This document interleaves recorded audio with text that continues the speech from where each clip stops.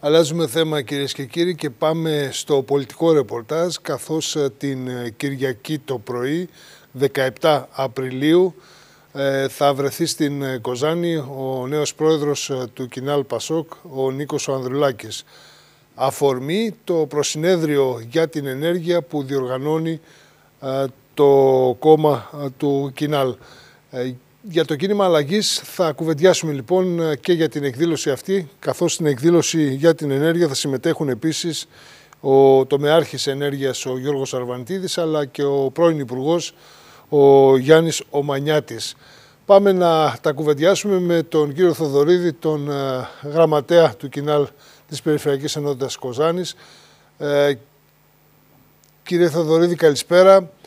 Μιλάμε για την πρώτη επίσκεψη του Προέδρου μετά την ανάληψη των καθηκόντων του. Καλησπέρα κύριε Μαυρίδη, καλησπέρα και στους ε, τηλεθεατές σας. Ναι, είναι μια επίσκεψη που θα κάνει ο Νίκος Ανδρουλάκης την Κυριακή.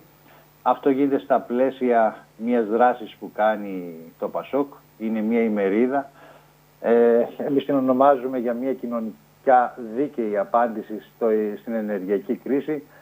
Καταλαβαίνετε απόλυτα πως με όλα αυτά που συμβαίνουν, με την ε, ακρίβεια, με τις ακρίβειες στις τιμές ε, των καυσίμων, της ενέργειας, ε, υπάρχει ένα πολύ μεγάλο ζήτημα. Τα νοικοκυριά στενάζουν, ε, πλέον τα εισοδήματα έχουν μειωθεί κατά πολύ και βλέπουμε να υπάρχει και φως Δούνες. Αυτή η μερίδα θα διεξαχθεί στην Κοζάνη στις, 11 του, στις 17 του μήνα, συγγνώμη, στην αίθουσα Ποντιακού Ελληνισμού στις 11 η ώρα το πρωί. Εκτός από τον πρόεδρο ο οποίος ε, θα μιλήσει, όπως καλά είπατε θα είναι και ο γραμματέας του τομέα ενέργειας. Ε, θα είναι ο Γιάννης Ομανιάτης ο πρώην υπουργός, ε, θα είναι ο Βλάσης ο Οικονόμου, ο οποίος είναι διευθυντής του Ινστιτούτου Ευρωπαϊκής και Κλιματικής Πολιτικής. Θα είναι ο Χάρης ο Δούκας, ο οποίος είναι και αναπληρωτής καθηγητής στο Πολυτεχνείο, ο Αρθρούς ο Ζερβός, και άλλοι. Θα έχουμε όμως και παρεμβάσεις ε, μετά το τέλος των εισηγητών και θεωρούμε ότι θα είναι μια πάρα πάρα πολύ καλή ημερίδα με την έννοια θα υποθούν όλα. Εμάς βέβαια προσωπικά εδώ στην Κοζάνη μας, ε, είναι και το μεγάλο ζήτημα που μας απασχολεί πάντα και δεν είναι κάποιο άλλο από την ε, απολυτοποίηση.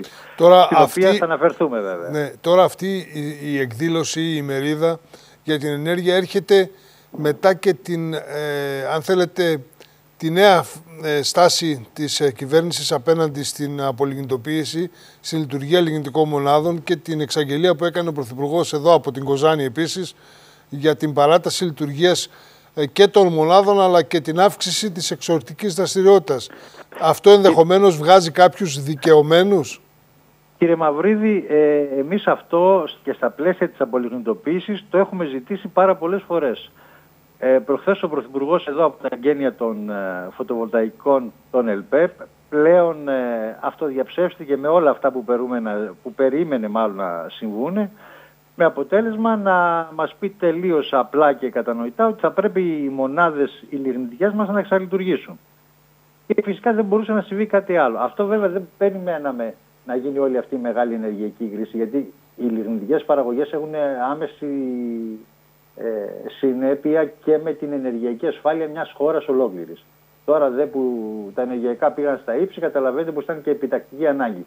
Αλλά το ζήτημα ήταν ότι όλη αυτή η διασύνη που είχαν ε, στην περιοχή εδώ πέρα για την απολυγνητοποίηση την κάνανε χωρίς κάποιο σχέδιο. Ε, θα μπορούσε κάλλιστα να υπάρχει ένα σχέδιο σε ένα πλάνο χρόνων και δεν μιλώ για ένα, δύο ή τρία, πέντε χρόνια σε βάθος δεκαετιών, όπως κάνουν όλες οι ευρωπαϊκές χώρες, ε, όπως είναι η Γερμανία, οι Ρουμανίες, οι Πολωνίες και πάει λέγοντας.